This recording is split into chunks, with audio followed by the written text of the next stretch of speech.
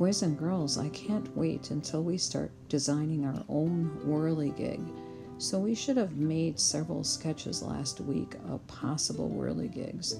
And here are a few more examples of whirligig designs. We're going to be focusing our efforts on creating a bird whirligig. And so to do that, we need to have separate body parts so we can then make our whirligig move.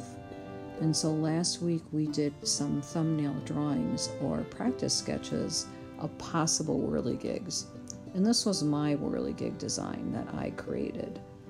And I'm now going to take the, that apart and make it into parts.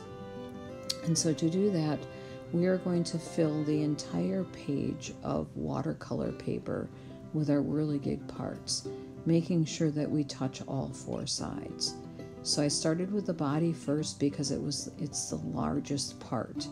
And so I want to make sure that I have enough room for my body. And then I added all the other part. So now I'm going to add visual texture to all of the parts. And to do that, I need to think of the normal visual texture like feathers and patterns that you would find on a bird.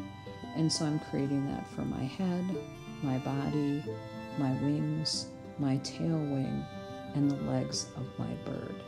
So keep that in mind as you create your own visual textures.